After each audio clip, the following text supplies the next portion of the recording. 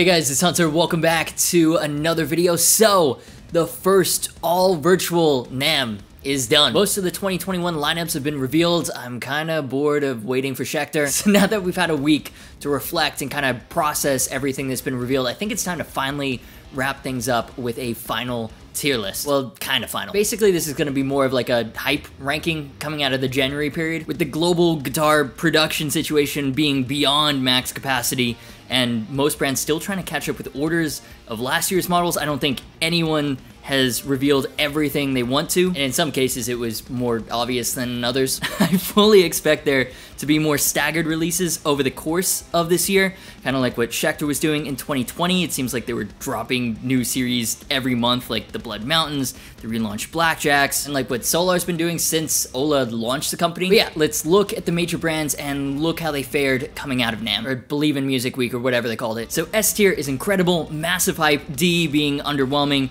and hopefully there will be more interesting releases at Summer NAMM or during the course of 2021. Let's start with Fender. So Fender introduced their super high-end American Ultra Lux series with stainless steel frets, pretty much what the American Ultra series should have been last year in my opinion, but this new launch has a silver burst strat with a Floyd. They also have the Noventa series, and huge shout out to my Spanish speaking viewers who pointed out that Noventa means 90 in Spanish. Great name for a line of P90 crazy guitars, and they've got the 123 theme with the Tele, Strat, and Jazzmaster. I am very interested in both the series, so I'm gonna go ahead and give them an A. Fender is one of the big two iconic American brands, so for them to be adding stainless steel frets, which I personally think is a massive upgrade in terms of feel, is huge. And now that they've added it to regular production models, granted, even though it's at the very top of the line, it's at least still there. The seal has been broken, so that's super exciting because eventually it'll start making its way down to the more affordable Fender models. A tier for me. Now let's stay in the Fender family. Squier. Squier f***ing brought it this year. Contemporary series sub $500 guitars with roasted maple necks. Any way you cut it, that's insane for a major brand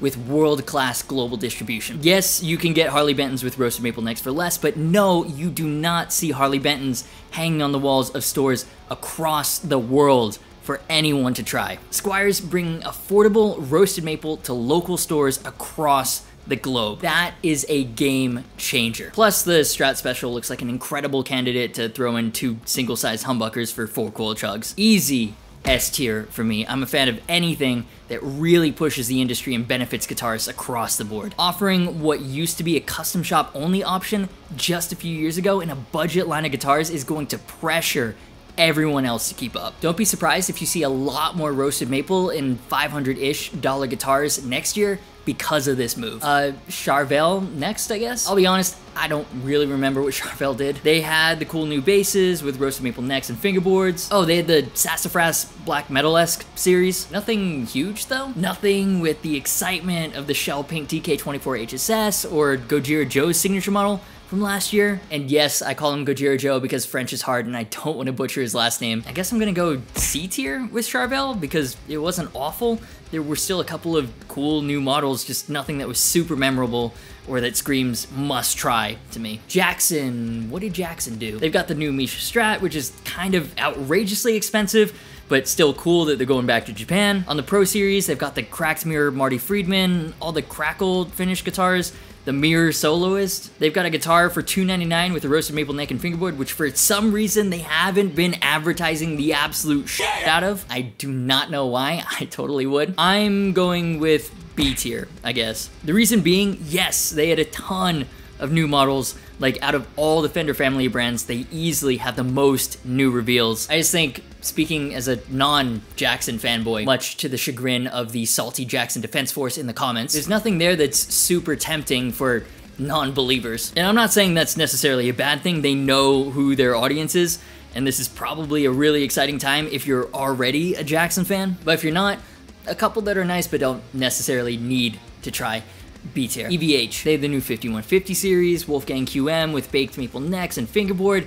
You may as well count the Stripe Series Frankie as a new release since last year they were like impossible to get. I'm gonna go with C, no, maybe B tier, like C plus maybe? I like the new finishes a lot and the big red kill switch button on the 5150s. I think this year, understandably, we didn't see a lot from EVH because RIP the GOAT, and EVH is not a huge operation compared to Jackson and Charvel. The next couple of years are really to define EVH as a company, so it'll be real interesting to watch. This year, yeah, I guess B tier. Nothing massively groundbreaking, but it is hard to judge them because they are so much smaller Honestly, I am more interested in trying the new EVHs than I am the new Charvels. Yeah, it, it's not like this list has any lasting ramifications, it's just an opinion piece on hype.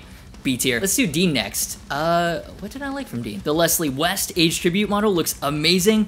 I will never own it because it's so expensive. The multi-scales look interesting. Fishman Fluence finally making it into Dean guitars. I guess I'll go B tier as well. A lot of models I'd be interested in trying out, but no strong desire to own any uh, at least for now. Yeah, B tier seems about right. LTD up next. S tier, I don't even care. Again, it's because we have another industry game changer. They're bringing stainless steel frets to all their 1000 series or equivalent guitars. That means the black metal series, that means the signature models, that means stainless steel frets on standard production models priced in or around $1,000. Yes, you don't need stainless steel frets, but they feel so much better. And again, that used to be such a high-end feature. This move by a massive brand sold at dealers around the world is going to push the industry. Easy, easy S tier. Then ESP. I'm lumping together ESP USA and E2, like the higher end brands. ESP USA got new finishes, E2 had like one or two new models, but mostly new finishes as well, if I remember correctly. I'm tempted to go with A tier because I love Eclipses so much. If we're being honest though, E2 not having stainless steel frets when both LTD and ESP USA does is very disappointing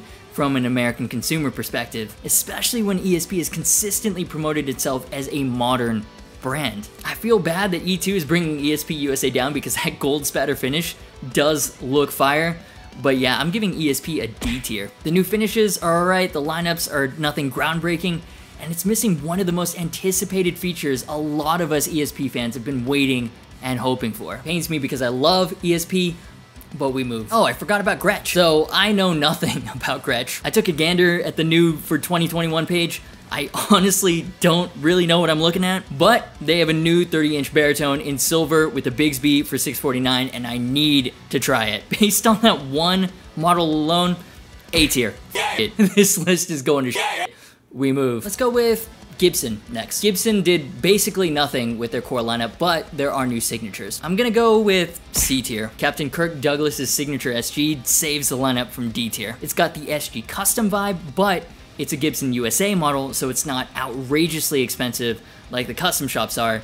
See the Hendrix SG Custom for example, and it's got a super unique control scheme. After the hype and success around the Epiphone prophecies, I was really hoping Gibson would do something to entice younger players, maybe give a signature model to more younger artists, but nah, it's kind of just Gibson as normal. The Mesa Boogie acquisition news got more interest than any Gibson 2021 reveal so far. So yeah, C tier. Then Epiphone. If you watch the channel a lot, you know I'm an Epiphone fanboy. I love Les Pauls, I love affordable guitars, I love how Epiphone caters to the modern player, but I don't think this year's NAMM reveals were that exciting. Last year we got the Prophecies and a bunch of new signature model teases, collaboration with a custom shop on the 59 Les Paul. This year we got a new Nancy Wilson signature, Jared James Nichols Gold Glory, and the Slash collection has been confirmed. It's literally a more affordable version of the Gibson Slash collection, so solid.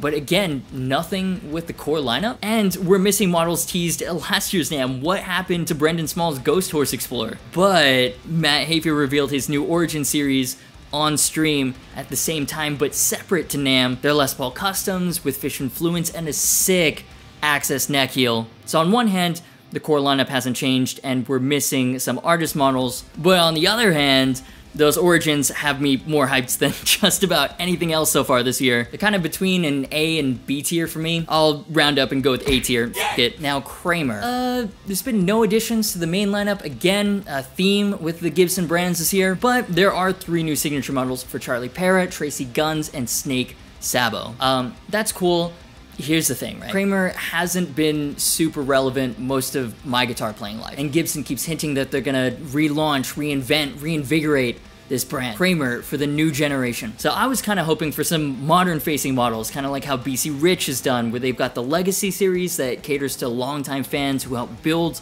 their legacy, and then the Extreme series where they're pulling in the new generation of metal players. And that hasn't happened. Kramer seems more intent with reliving the 80s, which Listen, I'll never on fan service. You love to see it. They're just doubling down on the nostalgia that you either vibe with or you don't. It's not really making Kramer a relevant brand again. Like there should be a Kramer Prophecy series or equivalent, but there's not. So yeah, I'm gonna give that a D. I was really hoping to see Kramer really bring it this year.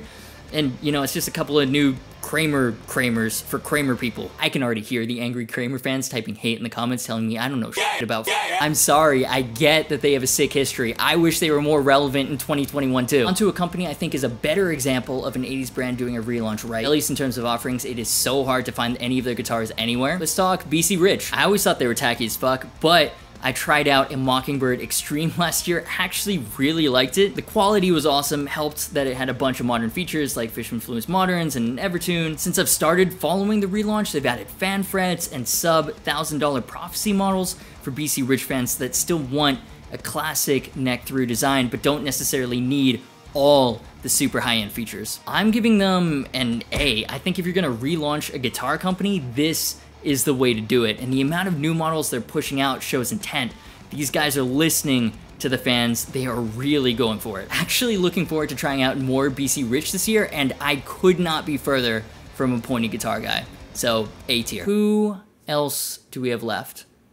Ibanez. Ibanez was a solid C tier until they drop the Telecasters that I've been waiting for that Fender refuses to make. Roasted maple necks and fingerboard stainless steel frets. Not cheap, but less expensive than even Fender's American Ultra Lux series. The AZSs bring Ibanez up to B tier for me. PRS, how have we missed PRS? PRS, uh, honestly, not anything super exciting. I think if I wasn't already a fan of PRS guitars, it would be like the Jackson situation. Like, if you're into super pointy guitars or super modern features, there's nothing here for you. Last year we had Mark Holcomb 7 string, for example, or Dustie Waring's CE. Those have the PRS classiness to them, but at the same time have specs and looks that bring in people that wouldn't normally look at PRS. They don't really have anything like that this year, but they have updated the SE carve and the Blue Myers looks super cool with the matching headstock could be a tease for a new era for the SEs. I mean, I'm really excited to try them. I'll give it a B. Schecter, as I mentioned, they released a bunch of new series over the course of 2020, and they just updated the Blackjack series, so I'll give that to them. So far, they're teasing two signatures for 2021, what looks to be a white Nick Johnston with a roasted maple fingerboard, and a re-release of Kenny Hickey from Type O Negative's green signature. I'll give them a, uh, I don't know, C, because these models aren't super exciting, but I'm hoping having the same owner, they'll copy LTD and chuck stainless steel on all their higher-ish models. So C tier on Faith alone. Let's go with Cort next. Cort is interesting because like Cort is a factory house brand, and said factory makes a bunch of other people's stuff. So like Cort doesn't really have an identity. All their modern guitars kind of just seem like Ibanez with a different headstock. I do like the Sunset TC Les Squier guitars. They're not new, they're just not relicked anymore. They have the new G300 Pro series, which, to be fair, look pretty sick. Roasted maple, stainless steel frets, lumen lays, essentially the AZ Premium series, but 300 bucks ish less with more limited distribution. Now that I'm thinking about it, I don't even know where you buy Cort guitars off the top of my head. Eh, I don't know. I'll give them a C. Their lineup is like Ibanez Light. Ernie Ball Music Man. One of my missions this year is to try a Stingray RS in powder blue because it looks great. But their lineup literally had no new models, just new colors, and they discontinued the amazing Firemist Silver with a roasted maple fingerboard. D. Sterling, though, A. Basically, because of those Cutlass CT50s with roasted maple for 4 99. Them and Squier are pushing the rest of the industry into the age of affordable roasted maple. Their distribution isn't as good as Squier, so they're not the massive game changer that Squier is, but aesthetically, they look better than any of the Squiers. The only reason they aren't getting S instead of A is because they've only done it to the Cutlass. The Stingray hasn't gotten the same treatment for some reason, so the selection if you want that spec is still a bit limited. Solid A tier though. Moving on to the YouTuber brands, Chapman. They've gotten new US distribution, so we finally have them in the States again. For 2021, they have the new standard hybrid series, which has proper Seymour Duncan pickups in them now, and the ML1 Hybrid Pros HSS with roasted maple. There's a new 7-string signature model for Diego of Lacuna Coil in the design phase. I don't know, man. I was really looking forward to some newly redesigned ML2s, but they are nowhere to be found. You know what? Now that I think about it though, I guess I'll give them a B because now with US distribution, it's like we're getting all the cool stuff from last year too. It's almost like a relaunch of the brand here in the US. Solar, Solar's a weird one. As I said, they just release all the time, so it's like a constant level of hype. Even if it's something simple like a new color or now there's bolt-ons, it's like they're always moving, never standing still. Love when I check the website or something pops up on Instagram, it's like, oh, that's new, that's cool. Latest ones I saw were the A1.6 Vinter, with Fishman Fluence Moderns, and a Black Beauty inspired Solar single cut with a big ass gold Evertune. Solar is just like a constant A tier for me. Even if it's just variations on the same main themes, it's always exciting to pop back in and see what's new. And lastly, Harley Benton. Honestly, I have no idea what new models are actually going to be released this year. I know which ones I've submitted spec sheets and drawings for.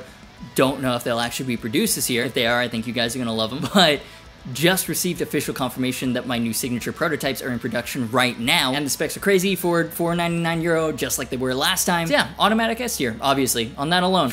Okay, we're done with this video anyways. But yeah, that's my list. Given the context of last year, I think any other year, a lot of these wouldn't have ranked as high, or maybe they would. Generally, I'm just excited to try new But overall, the ranking follows a pretty normal distribution looking forward to hearing how wrong I am in the comments. I think a key takeaway here, looking at it, is that roasted maple and stainless steel frets are making their way further down the product lines, which is great. At the same time, that's kind of being offset by rising factory production costs. But for now, roasted maple necks reaching the affordable mainstream is incredible. But yeah, those are just my thoughts. This is where I throw it to you. Which brands have you the most excited? Which models are you most interested in? Really curious what your thoughts are coming out of this first virtual only NAMM. If you enjoyed this video and the near daily upload schedule around NAMM, do me a favor, hit that like button. We're pushing on 100k, so if you haven't already, help your boy out, subscribe, it's free. Social media, merch, and Discord server links are in the description. As always, thank you so much for watching. You've been awesome, and I'll see you for the next video.